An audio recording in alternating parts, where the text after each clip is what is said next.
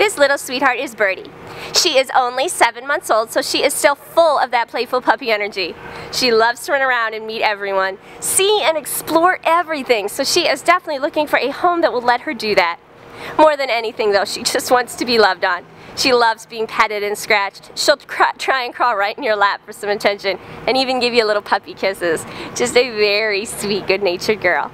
While she's been here at the Humane Society, she is learning to walk nicely on a harness, but she could use some additional training in her new home, like most young dogs. She's looking around out here, just kinda not sure what's going on. She'll make someone a terrific new little pet.